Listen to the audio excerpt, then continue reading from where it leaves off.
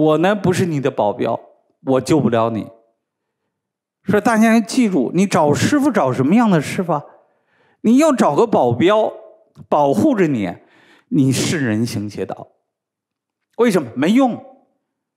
你一定是走邪门外道了啊！找个师傅厉害，我我就是跟着这个师傅我就成佛，跟着师傅我就得救了，跟着师傅我就得到保护了。你胡说八道什么？释迦牟尼在世的时候，那些见过释迦牟尼的人都成佛了。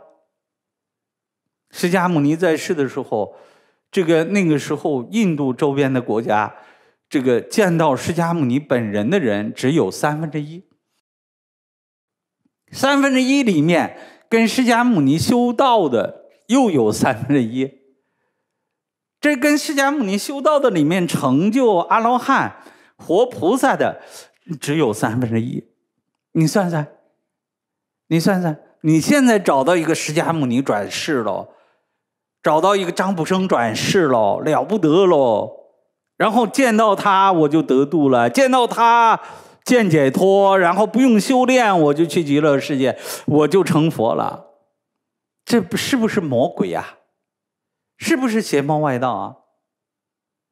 说是记住，师傅教你真东西，就教你一口气儿，好好喘这口气儿。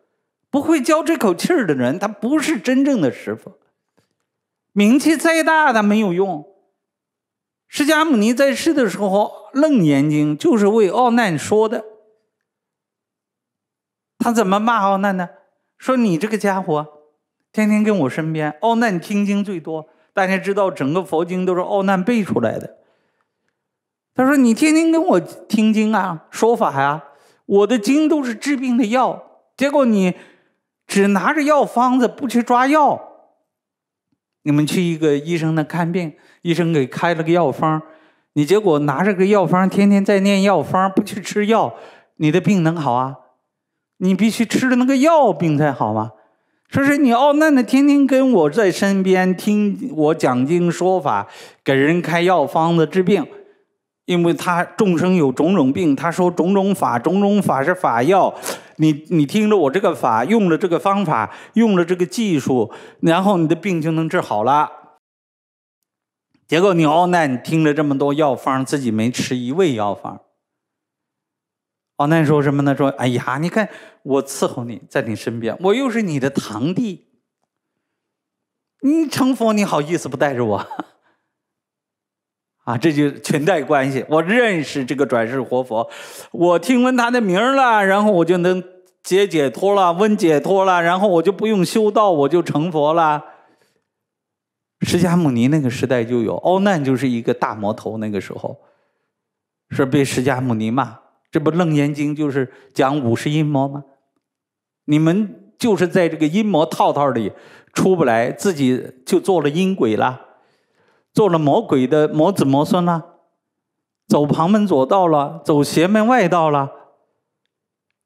是是，释迦牟尼语重心长的跟奥奈说：“你的身体是你的，你的心是你的，我的身体是我的，我的心是我的，身心两不可替。”我不能替你成佛，你也不能替我成佛。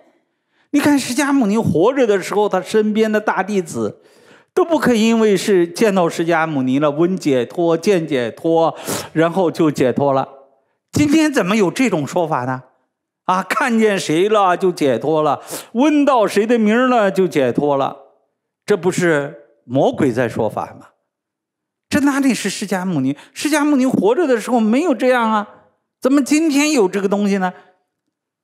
是末法时代邪师说法如恒河沙中，搞个人迷信，搞个人崇拜，帮派崇拜，组织崇拜，山头崇拜，跟着我你就可以解脱，跟着我你就可以成佛，跟着我你就怎么地了？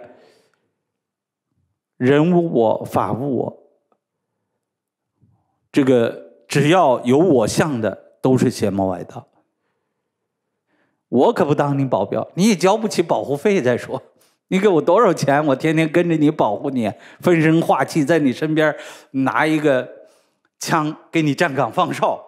你的邪魔外道，你的冤亲债主来了，我砰砰砰砰都把他打跑了。你们就这样找师傅的吗？对不对？找了个保镖啊，谁来了？师傅，你为什么不保护我？为什么让我受伤？为什么我认识你，我跟你学道这么多年，你还不保护我？我原本就不是你的保镖嘛，我凭什么要保护你啊？我教你的方法是你自己保护自己。为什么？你是一个伟大的尊者，你是天人尊，你是调御丈夫，你是无上师。修行就就这么分前后两个时期。第一个时期就是你还自己不知道自己是无上师、为丈夫、天人尊的时候，哎，想尽一切办法让你找到这个天人尊，见到天人尊，自证天人尊。当你是天人尊的时候。